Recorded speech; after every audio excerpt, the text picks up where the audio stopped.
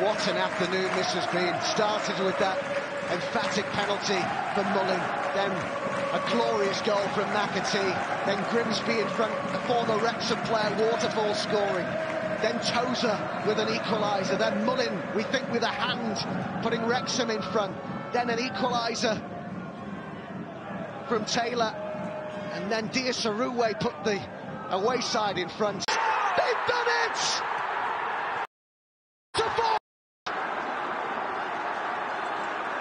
Lightning strike twice.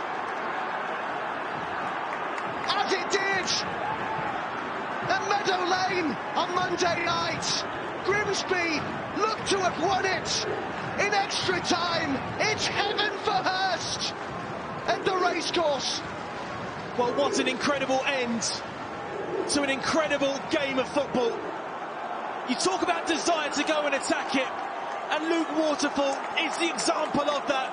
He just loses toes up and reads the fly.